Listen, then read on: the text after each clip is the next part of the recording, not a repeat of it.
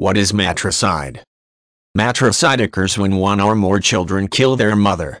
Matricide occurs in stories and films for dramatic effect, and it has occurred throughout the history of the world and real-life situations as well. It is usually treated as murder in court systems around the world and does not generally carry extra penalties because of the relation of the killer and the victim, though this is not the case throughout the entire world.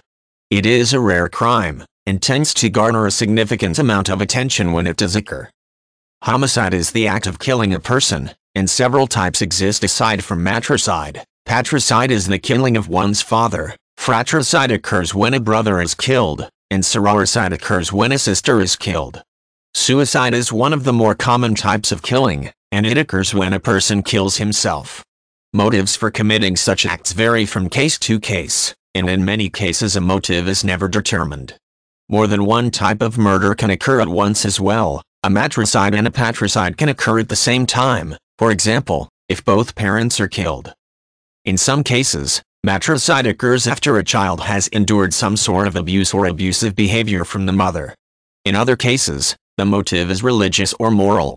A child might kill his mother, for example, if the mother is having an affair, or otherwise committing some act the child finds to be sinful or unacceptable.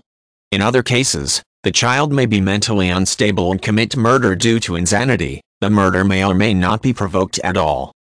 The act of matricide is common in fiction and film because of its dramatic nature. Many writings throughout history have told stories of matricide for various reasons, from shock value to morality lessons. Films have been made that focus on the murder of a mother and repercussions of that act. Very often such an act garners high interest because of its rarity, and its place in entertainment often leads to its sensationalism. Occurrences of such murders have occurred throughout history. One of the most famous instances of the murder of a mother include the murder of Cleopatra II by her son, who suspected her of conspiracy.